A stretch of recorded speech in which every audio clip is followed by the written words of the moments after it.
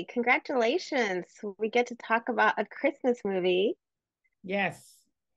Christmas so, with you on Netflix. that's right. Right. So uh, that's why I had to wear red. ah, nice. Trying to get in the spirit. So talk to me about this movie because it's like a double celebration, which for me it's a little different because you have a quinceañera also combined. Yes, yes. I, I think that I think that was a hook, and that's interesting. Is is about a girl, and she says, "I'm a quinceañera baby" because her birthday is on Christmas. So you know, you have the two things in the movie, kind of as a thriller, although it's a comedy coming up, and you wonder what's going to happen in Christmas and in her quinceañera. And then as a bonus, you have snow. Lots of snow. How challenging was it? It was very challenging. That's why I'm laughing because I learned so much about how to make fake snow. You have blankets that look like snow. You have a machine that is like a track that throws snow. And then there's the visual effect of snow. Sometimes you can't put a blanket, or sometimes you have to do a combination of the three things to get the best snow possible. So, snow is actually another part of the part of directing for you. Yes, it was had to be on the schedule. We had like four snow meetings. Really? Four? Yes, really. to discuss in every scene that there's no what is the best way to do it. Other things, obviously, but we we cover it's multicultural because we're talking Christmas, we're talking quinceañera. But what was it like for you um, to incorporate also the culture part? I mean, here we have, you know, making tamales. Um, um, my family, I'm Mexican, but we don't make tamales. We missed that memo. But oh. with the film, I got to learn a little bit about portions. Yeah, yeah, we we had a tamale scene. We call it the tamale scene, and we always say it's like that movie Ghost, where the two of them are making the clay, but with tamales. So it's a very central scene, and they're talking about tamales, but it's about the look and about folding the tamales, you know, and doing the masa. And then there's even a line that says, "Too much masa is a mess." Um, so it's it's quite an art to make tamales. And you incorporate the drama because we like the drama, telenovelas. Yeah, it's a very romantic movie. So, what were some of the scenes that were challenging for you? Maybe the outdoors. You had a couple with snow, um, or the ones where you have a lot of like choreography. Um, can you talk a little bit about that? Yeah, the choreographer was amazing. Her name is Jessica Castro, and she's, you know, we tried to have as many Latinos behind the cameras as well. And she's done Mariah Carey, J Lo. She's amazing. So it was a lot of practice uh, for the lead, Aimee Garcia, to get those dancing scenes. And then Deja, the little girl, had to practice the waltz with Freddie Prinze Jr., you know, for her quinceanera. So all of the actors had to learn uh, a way to dance. And there was a lot of rehearsal before shooting the movie. I love it. I actually kind of teared up when I saw the vals. And who the chambelán is because I mean that was pretty touching. It was so perfect. I did not anticipate that. Yeah, yeah, we had to do a lot of uh, research to be authentic with the quinceañera party. Mm-hmm. Now let's talk about the cast. You mentioned Freddie. Um, yeah, how Freddie did he come amazing. on board on this one? Well, we cast him, and you know, we made an offer, but I had met him years ago when he was doing the sitcom Freddie, and it, it, it's, it's becoming this viral you know news now the comeback of Freddie Prinze Jr. because a lot of people love him and you know had a crush on him and now he's coming back so everybody's waiting for for our Christmas with you movie to see him in a romantic part again. And let's talk about Aimee and uh, the young the young gal. Can you talk about them? also yeah. getting casted? Aimee is amazing because she's an actress, she's not a singer. And then she had to learn the songs in like four days and record them over and over. She had to do, you know, eight hours of rehearsals uh, because she plays a pop star a day. and she's just she's she carries the movie you know she has that charm uh like a sandra bullock latina sandra bullock i want to say and um, she can do drama and she can do comedy and she's very special mm-hmm.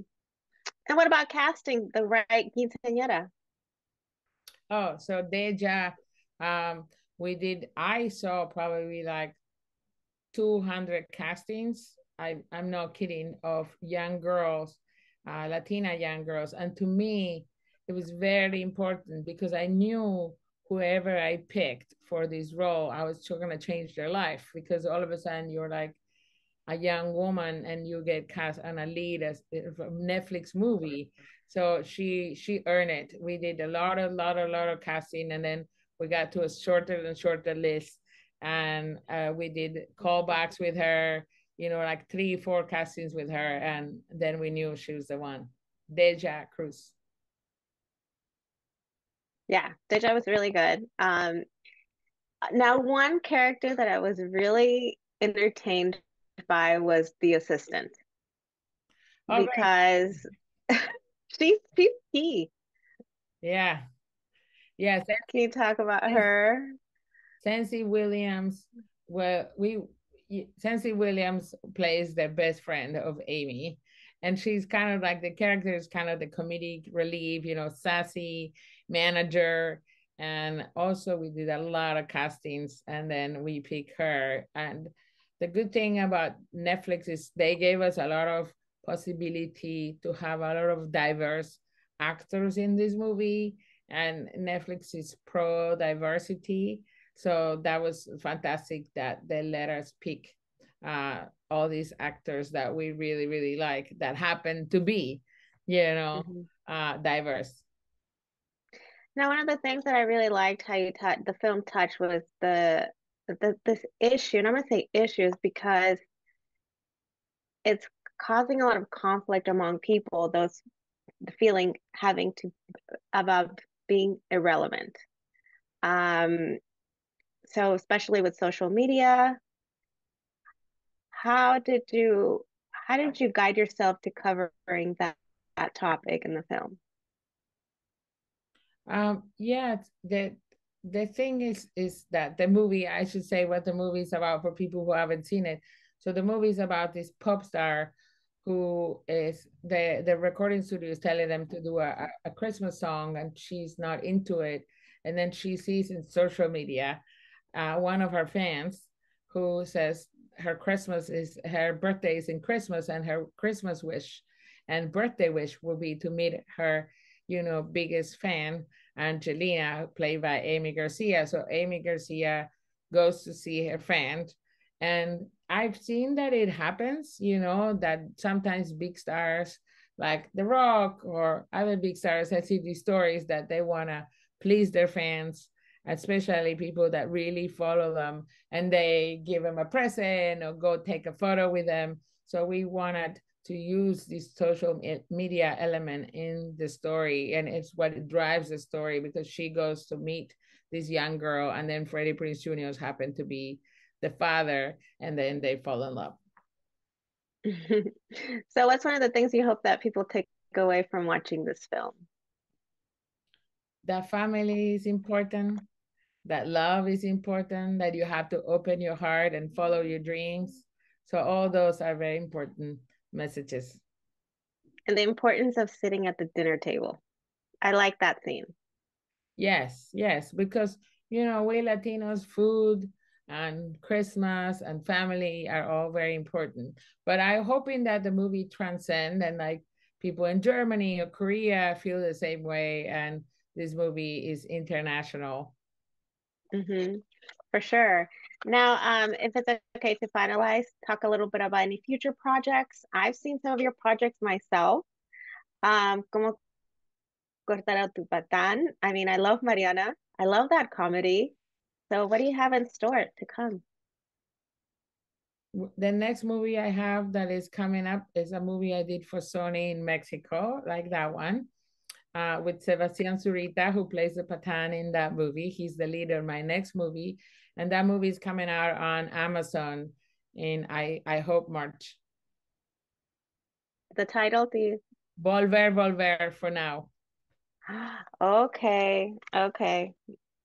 Um, is it um something related to some sort of alcohol?